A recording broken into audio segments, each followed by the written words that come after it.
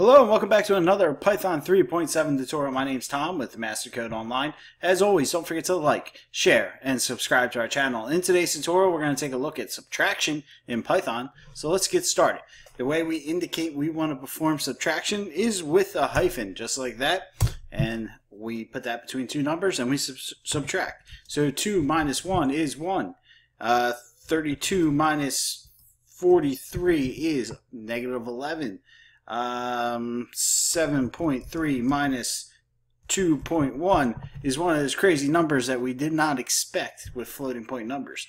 Uh, another one we can do is 8.7 minus negative 32, and we get 40.7. Um, let's see here. We can also chain some numbers together. We can do uh, 1 minus 2 minus 3 minus 4 minus 5 gives us negative 13. If you have any questions about subtraction in Python, please let us know. Otherwise, we'll see you in the next tutorial where we talk about multiplication.